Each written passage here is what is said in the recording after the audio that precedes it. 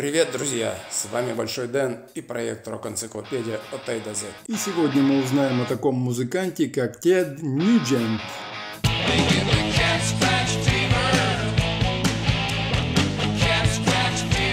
Несмотря на частую критику по поводу его правых консервативных взглядов и неуемной тяги к оружию, этот музыкант действительно является одним из столпов американского хард-рока.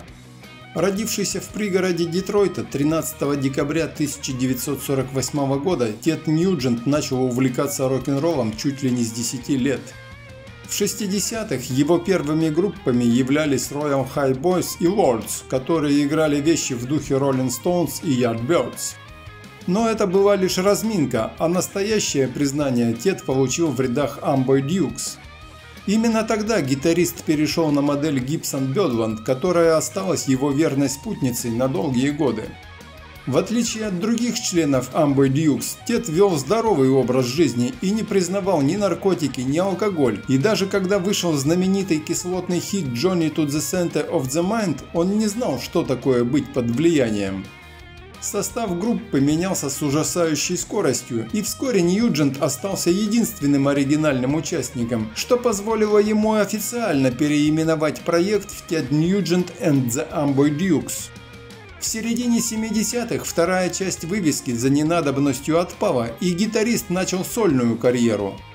Тед пригласил в группу поддержки первоклассных музыкантов Дерека Сент-Холмса, вокал-гитара, Роба Грэнджа, бас и Клиффа Дэвиса, ударные, и заключил контракт с Epic Records. Пропитанный тестостероном, дебютный альбом с мощными аккордами и бескомпромиссным рок-н-роллом быстро завоевал популярность у населения Америки, а его продвижению помогали великолепные шоу Теда и компании. Однако жесткая диктатура Ньюджента не способствовала благоприятным отношениям в коллективе и первым сбежал Сент Холмс.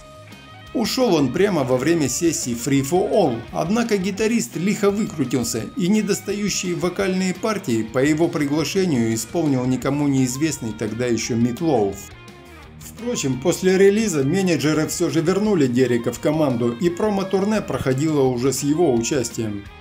Две первых пластинки принесли такие радиохиты, как Hey Baby, Stranglehold, Dog Eat Dog, но более значительный рывок Тед со своей бригадой совершил в 1977 году, выбросив на рынок диск Cat Scratch Fever.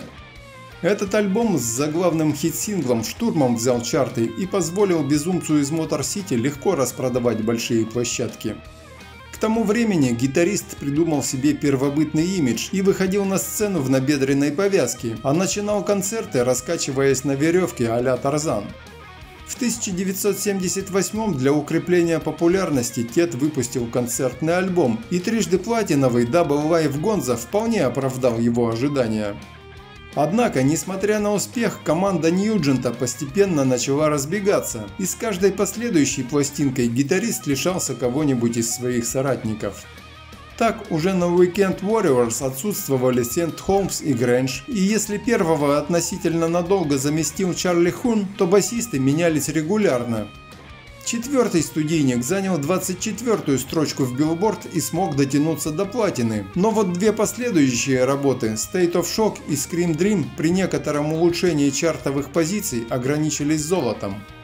К снижению тиражей добавился тот факт, что к началу 80-х Тед оказался на грани банкротства, поскольку неудачно вложил все свои деньги в рискованные предприятия. Тем не менее, музыкант преодолел финансовый кризис и новую декаду отметил переходом с Epic на Atlantic и выпуском пластинки Nugent.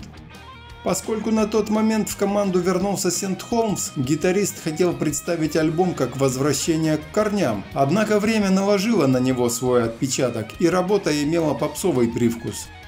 Позже в погоне за модой Ньюджент добавил в сопровождающий состав клавишника, в результате чего на свет появился чересчур синтетический пенетрейтор. Партии вокала на данном альбоме исполнял Брайан Хау, но в дальнейшем Тед взялся петь сам – Продолжая трудиться на ниве поп-металла, во второй половине 80-х он выпустил еще пару пластинок и добился определенного успеха, когда заглавный трек с Little Miss Dangerous, прозвучавший в сериале Miami Vice, стал крупным хитом. На заре 90-х Ньюджент на пару с Томми Шоу организовал мелодик-роковую группу Дам Ямкис, которая была довольно популярна, но после двух альбомов скоропостижно распалась. Наконец, в 1995-м Тед, воссоединившийся с Дереком, выпустил сольник Spirit of the Wild, который возвращал его к раннему непричесанному хардроку. Далее в студийной работе наступила продолжительная пауза, а в это время Ньюдж мелькал в различных радио и телешоу и занимался общественно-политической деятельностью. Впрочем, про свое главное призвание гитарист никогда не забывал и регулярно давал концерты, а также выпускал различные переиздания, сборники и зальники.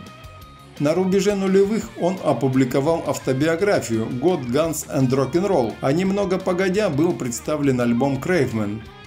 Саунд на нем несколько осовременился за счет фишек а-ля Кидрок, но на вышедшем 5 лет спустя Love Grenade Тед постарался вернуться к корням и даже перепел главный дюковский хит Johnny to the Center of the Mind.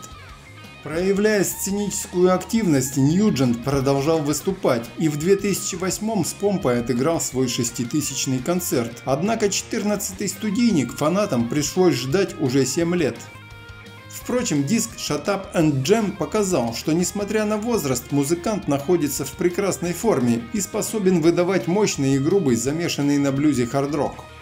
Не менее драйвовыми и зажигательными получились альбомы The Music Made Me Do It и Detroit Muscle, причем интервал выхода пластинок сократился до 4 лет.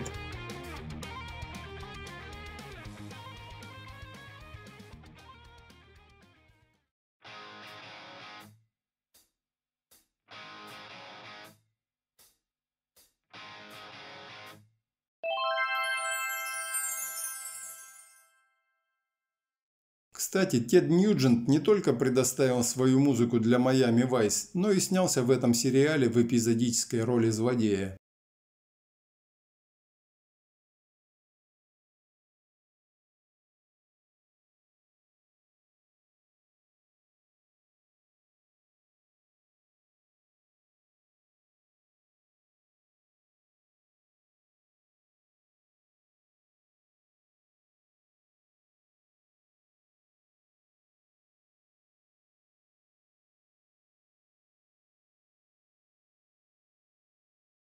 Jump in the back of my